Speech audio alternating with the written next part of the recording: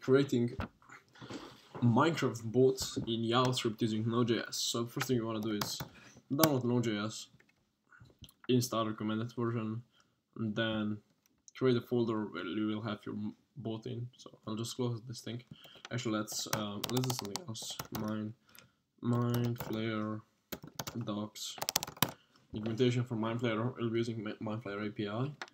Uh, it's well built, well developed API, and it's stable uh, doesn't support 1.13, 1.14, but you can contribute to that if you're willing to. We'll be using example right here, but let's first let's show how to do it. I will delete package.json uh, because we won't have it, so let's delete it.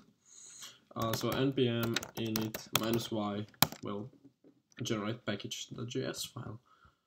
Uh, it's little object. Then I'll install npm I for install mine layer. And that will be it for right now. We'll be using, we'll be adding Discord support later on, but let's, for right now, let's just keep it simple. Leave it as that. What I'm going to do, like literally what I'm going to do, I'm going to copy this example right here. I'm going to copy it, I'm going to bring it down. This, this will be a test tester for Discord, but I just realized we, we will, not be doing that. Okay, so here I have index file. It's nothing in it. I just create a new file and I just make another one. Uh, okay, I cannot. Cause, okay, this one. I'll paste the example. Uh, so okay. What I'm going to do is I'm going to separate a bit here. And I'm just going to change this to constant because I prefer constants. And I have predefined config file and bot.json, which contains my details for password and um, username. So I'm not going to be showing it in here, but I'm going to use it as config. So let's let's do a const acc as account equals require let's require the file. Uh, so basically what you want to do is brackets and then the directory. So it's bot.json and then uh, const config. Same thing here. Config.json. Okay, so we can start working and yeah, pretty much for the how I'm using config, use use always the variable config as the variable and then whatever you want to take out of the file. So for example config dot um, minecraft dot server IP. And if we take a look at the config file, it's Minecraft variable, and this variable contains, actually object contains few variables, server IP port join command, which we'll be looking in a second. And let's just delete those events, yes. Delete them. Um, server IP, this right here, I'm, I'm just using account.email and account account.password uh, and for version I'll be using 1.8 uh, save that. Uh, and this should start. So let's just make a bot on uh, red event. So this is whenever bot um, oh it's never mind it's not ready it's login so whenever it logs in into the server this will this event will happen um, and I just want to console.log uh, tilde apostrophes for variables. Uh, username. Save that. And just index index.js. Let's start it. Let's see if it's working. Logged in us, and there's the Rocks idiot. This is my alt. And yeah, okay, let's go further in. Let's go further in. Let's go button here. We also want to execute um, join command. So we're logging into the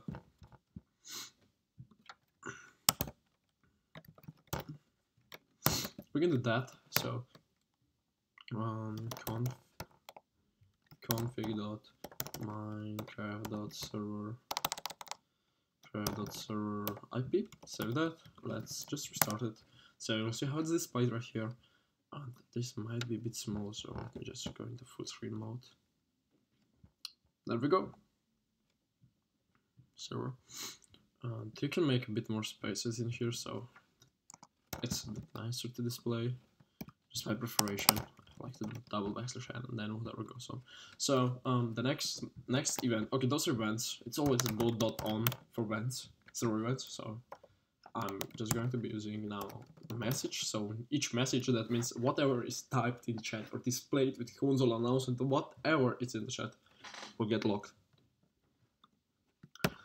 Um, so it's first is the message and then the um, variable you want to pass in. So async, because we want to use async for message. And we'll do uh, arrow function. And then let's start. So uh, first thing I like to do is let chat. So I like to stringify it because it's an object. So let's just stringify it uh, or change it to string, object to string. It's just getting all the objects from chat chat message. I think it's called the object or yeah, chat message object has variable text in it and has multiple objects in it. So yeah, each word is each show an object inside an object, if that makes sense. And then let's just console not log um, chat. Okay, and what we want to do, we actually want to go to the server. So uh, what I'm going to do is I'm going to um, bot.chat is method uh, using for chat, and we'll just input right here just config dot minecraft dot join cmd. Uh, I just double check that so um, to see if it's right. It's in my head cmd yeah. Okay this is safe now this should work so. This will be a quick tutorial how to do that. I'll go on with like multiple parts and unexpected token. Mm, let's see what's wrong Minecraft.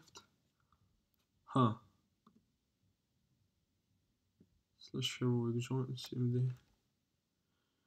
That's strange.